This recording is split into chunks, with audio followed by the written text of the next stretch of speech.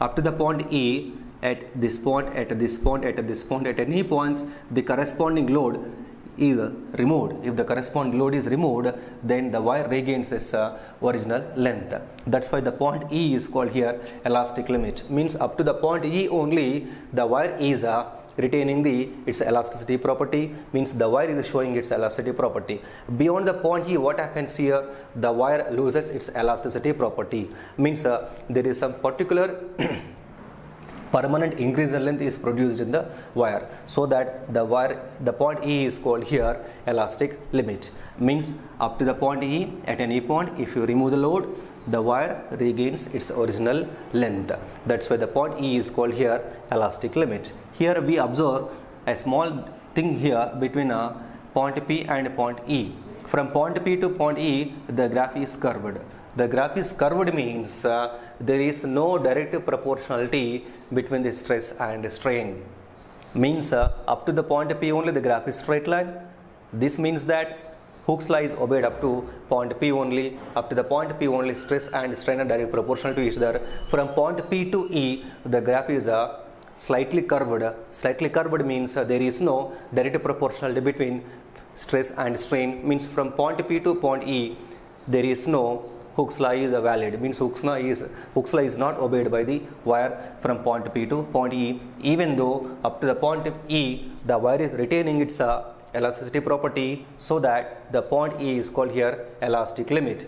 Beyond the elastic limit if the respective load is increased then the wire loses its uh, elasticity property and a permanent increase in length is produced here. So E is called here elastic limit. See and uh, from E to Y the graph is more curved. From P to E slightly curved. From E to Y it is more curved. What is the meaning of this it means that from E to Y for small increase in the load there is a large deformation is produced means large elongation is produced. And uh, what does this Y is called? This Y is called here yield point. The point Y is called here yield point. Yield point means what it is here?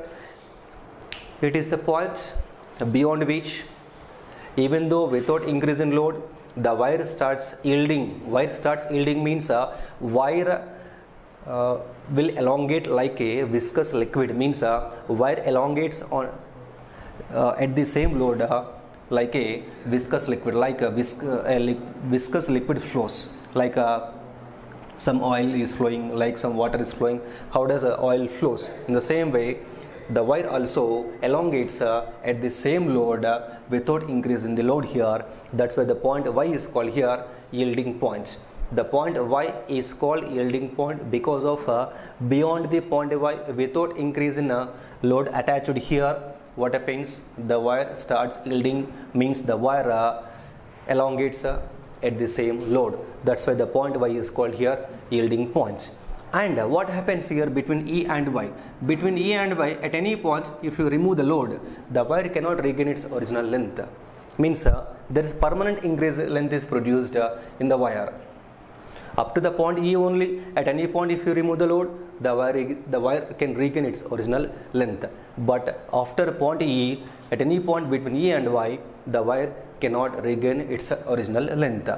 And uh, at point y if you remove the load then the graph cannot come back along PE YEP to O at y if we remove the load the graph cannot come back along the YEP to O it comes uh, along uh,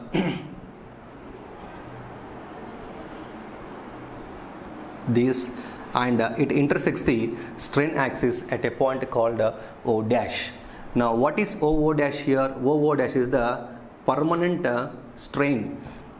It is called uh, permanent set.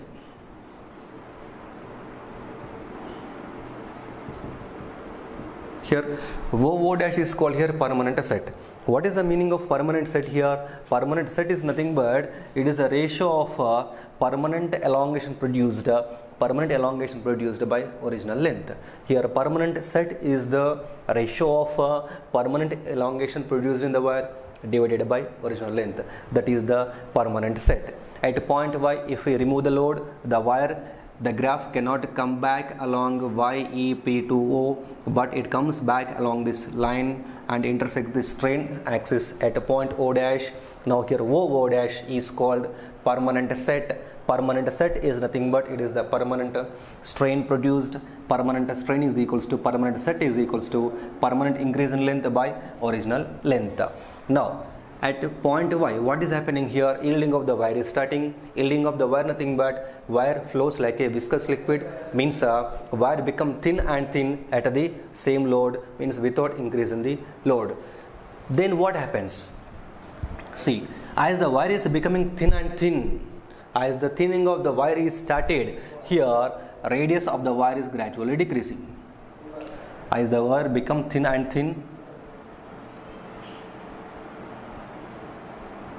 See, as the wire is thinning, the radius is decreasing. As the radius decreases, then what happens? Stress increases. Here we are not changing the mass attached to the wire beyond the point y.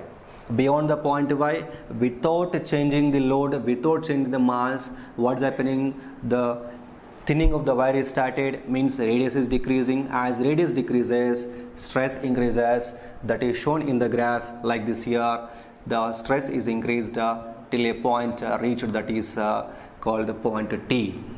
At point T, the stress is maximum in the wire. That stress is called here tensile stress. Is called tensile stress. This tensile stress is the maximum stress for the wire.